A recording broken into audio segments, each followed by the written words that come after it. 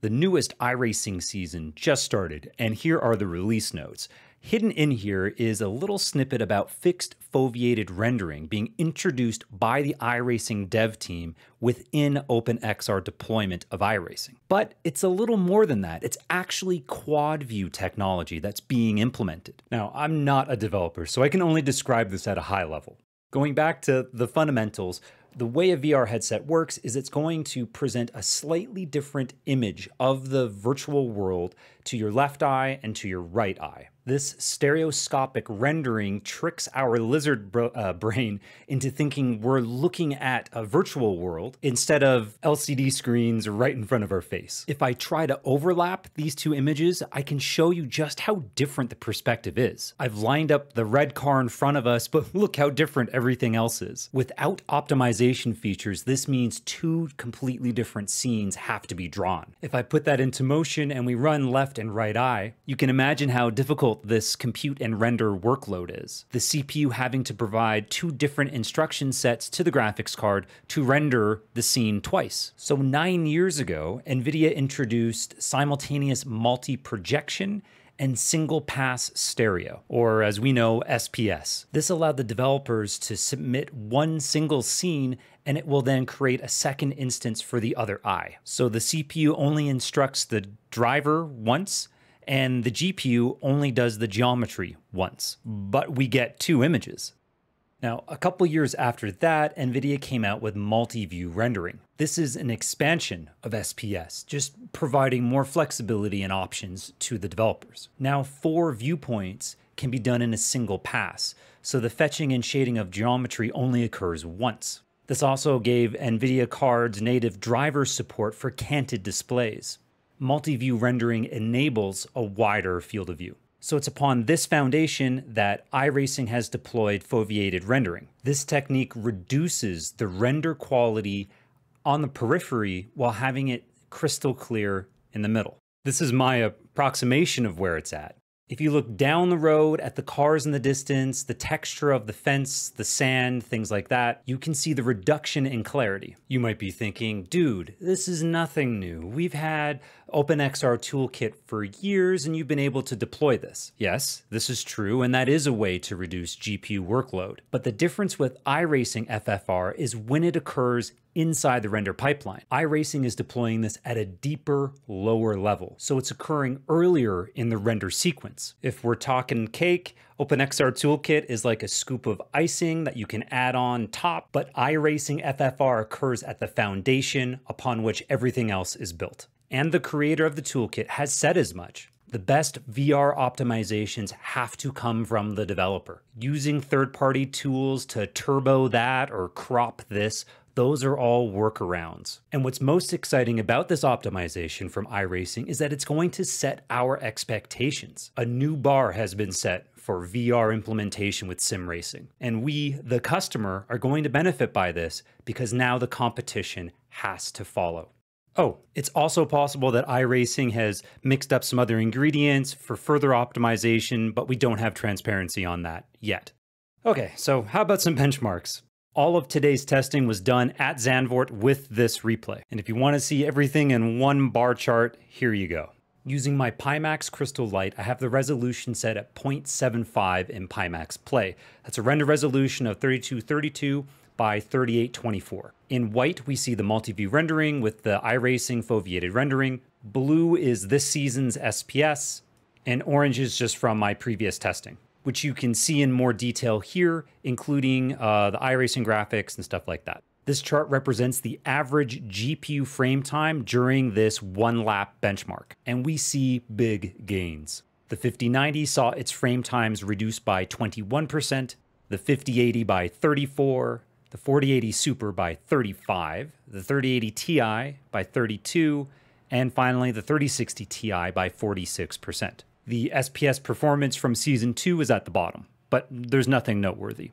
I think we really have to look at the frame time histogram charts to appreciate the gains. The best example is probably the 3080 Ti. In 2025, this GeForce delivers mid range capabilities.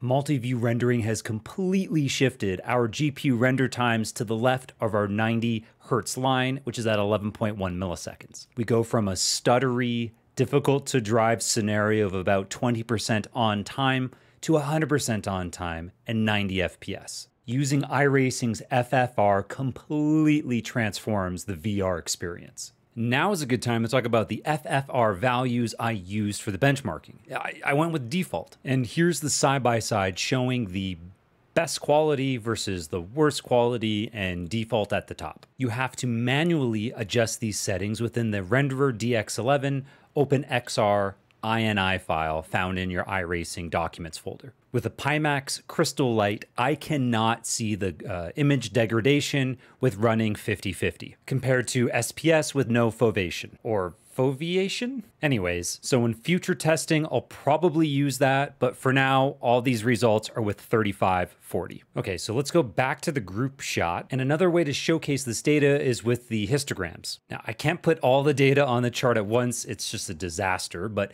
here's everything with SPS. The green data for the 4080 Super shoots way up the chart, but I'm, I'm not going to scale it to include it much like the gold 3060 Ti to the far right that which displayed frame times well above 30 milliseconds. Now watch how dramatic the shift is when we enable MVR and the FFR rendering. This swing in results, it's it's a game changer, guys. It's crazy. So you might be looking at this and the white 5090 and be thinking, "Wow, you know, that gap has really closed down. Why why isn't the 5090 doing better?" Well, let me bring in the CPU frame times.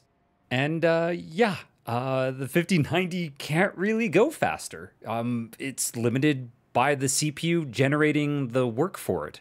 And in this case, that, that's as fast as the 9800X 3D goes. And this does bring up an important discussion point. I did measure a slight bump up in the average CPU frame time running MVR compared to SPS. And the Season 3 build is slightly more intense on the CPU compared to season two when I was testing SPS. These data sets aren't as accurate as I would like them to be, but it's hard to deny that trend. I'm using a 9800X 3D. It's basically the fastest processor a consumer can buy for gaming. So I wonder if, say, a six core processor from five years ago would fare the same, and I'm guessing it would fare much worse. If you are already pushing your CPU to its limits, MVR could now push it over the edge, especially after these Season 3 updates. I shared this theory on the iRacing forums, and a user replied with his FPS VR results, showing in the top regular old SPS and in the bottom MVR results. And we can see that the light blue line representing the CPU definitely shifted to the right, and he actually had a worse, more stutter prone experience. Speaking of Steam VR and CPU frame times, here's a chart comparing that. If you look in the top right, the average CPU frame time was better with OpenXR Toolkit compared to Steam VR, and SPS offered a slight advantage over uh, MVR. This testing was done with a 5090 and 9800X3D. And I also collected the GPU frame times, comparing the two MVR results with iRacing's F FR, I guess it was a bit surprising to see that um, using the Pimax OpenXR runtime uh, didn't really provide much of an advantage compared to SteamVR. That's not the case with uh, SPS, where SteamVR actually has slightly worse performance. I'm not sure what to make of this, I just thought I would share. I also did some testing with an RTX 2070 8GB and I have those results with a 3060 Ti. This was captured at 0.5 render resolution in Pimax Play, which is the lowest resolution at 2156 by 2552.